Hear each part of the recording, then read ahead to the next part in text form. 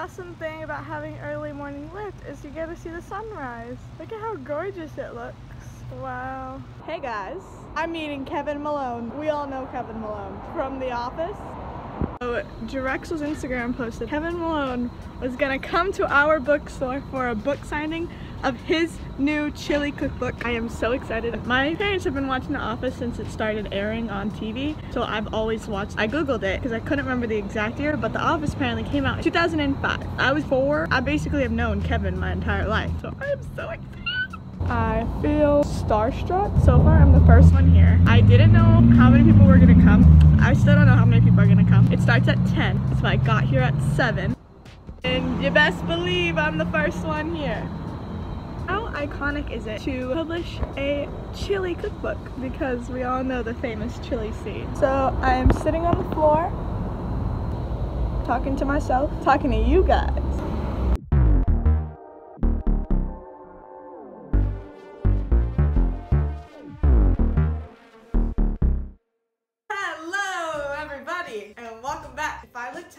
It's because I am.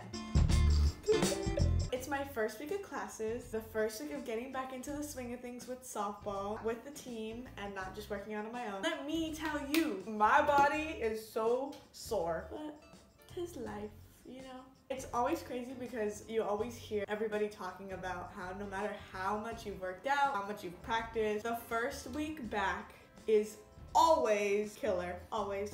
It doesn't matter what you've done. Certainly gets you. Let's get into it. If you see my lovely setup over here, we are going to be making another one of these. So this is the goal. It's pretty simple. First, I need to cut up these bags. That way we can make our leaves. Bam! The bag is cut. I'm going to have to make tiny leaves.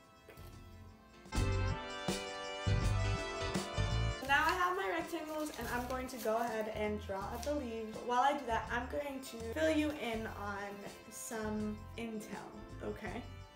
The leaves really don't have to be perfect. They just have to get the job done. When I was a freshman, one of the lessons that the seniors would say was, it don't gotta be pretty, just gotta get the job done. And I think I live by that quote every day. But that's not the intel I was gonna tell you. I was gonna say, so I had this whole plan of making a first week of senior year video that way you guys can get an insight on everything that I do. You know, lift, practice, class, study hall, extra work, seeing all my teammates, stuff like that. However, I hit a roadblock. And let me tell you why. I lift every day at 6 a.m. And do you know what that means? That means I have a very tight schedule of when I wake up, brush my teeth, and out the door, and when I make it to actual lift. So when I lift at 6, that means I have to leave my apartment by 5.45. How can I be most productive with my time? Let me tell you. Over my four years, I have perfected, perfected this routine of going to lift. Every year I have lifted early in the morning. So what I do is I have lift at 6. I leave by 5.45.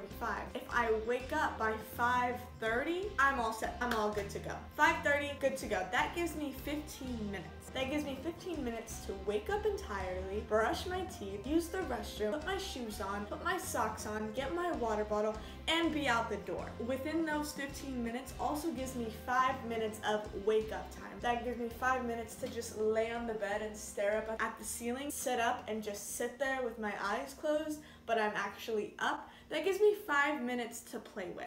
That gives me 10 minutes to hunker down and get my stuff together so I can be out that door and at lift. The tactic that I found to be the most beneficial, let me tell you, I'm gonna go to, I've never even seen Harry Potter. The tactic that I have learned was inspired by my two theos, two uncles. I'm not gonna name them because that is for me to know and you do not know or probably know if you're watching this and you know them. I have these two uncles who are pretty close in age. That means if they went to school together, they were around the same age. The first Theo, he was prepared and would get his outfits ready. So he would iron, set them all out nice and neat, get them ready for the next day. But he would lay it all out and get it ready. Only to wake up to his brother wearing said outfit. His brother would take the outfit that his other brother set out and prepared and ironed and got entirely ready and he would wear it to school. So do you know what my Theo did? In order to wear the outfits that he put the hard work in,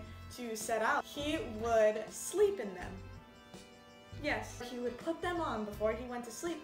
That way his brother couldn't take them.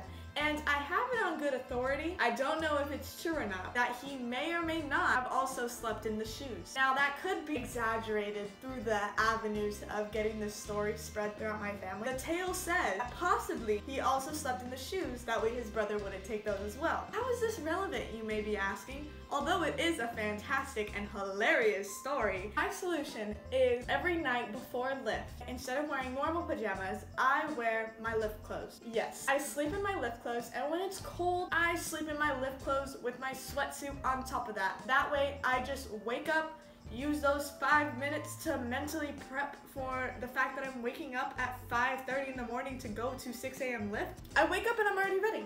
That way, all I have to do is put on my socks, my shoes, brush my teeth, do my hair, grab my water bottle, and be out the door. Can you give me a more time-effective solution? I didn't think so, because then what's the other alternative? I wear pajamas to bed, I wake up and spend five minutes trying to figure out how to open up my eyes and find my shirt and my shorts and put it together? No. If it was super hot and I was sweating all night, I would not be wearing my workout clothes because that would just, I don't want to be smelly before I actually leave. To be time effective, I sleep in my lift clothes. I will ride and die by that solution and that tactic. I will. I think it's great. I've been doing it since freshman year. I don't think anybody told me about that, but I felt inspired by my Theo's story, and I used it to my advantage. Is the entire story applicable? No, I felt inspired. So yes, I sleep in my lift clothes, that way I wake up and it's just chop, chop, chop. And then I go to lift, I get there, I work out, I get the job done, and I do it all again the next day. I would highly recommend if you have 6 a.m. lift, do what I do. Not everything that I do, but wear your lift clothes to bed. It'll be a game changer. You don't even know. It will change your life. Anyways, Thank you to that Theo. If you know the story that I'm talking about, comment a clothing item emoji. I think it's the smartest thing, so I do it every single lift day. That's why I was like, I would love to make a video to show you guys my week. However, if I already have this routine down to a T, why am I gonna wake up an extra 30 minutes just to show you guys a fake me waking up? Because obviously I would have to set up the camera and act like I was asleep and then be like, like just getting out of bed. No, that's not me. I don't wake up like that. I lay down, I wake up, and I sit there like this for about five minutes contemplating why I made the decision to lift every day at 6 a.m. After I'm done, I'm grateful that I lift every day at 6 a.m. In the process, it's a little tough, especially because I don't sleep, you know? I go to sleep every day around 12 to 1 a.m., which isn't good when you're waking up at 5.30 every day. I'm running on not much sleep. Waking up early, it's a battle every day. So I hope you enjoyed this fun fact. If you do want to see a week or a day in my life of me waking up, going to lift, and going to practice, and going to class, and doing all that, I will definitely give you guys that. Just let me know. This is the video explaining why this isn't that video. Peace out, guys.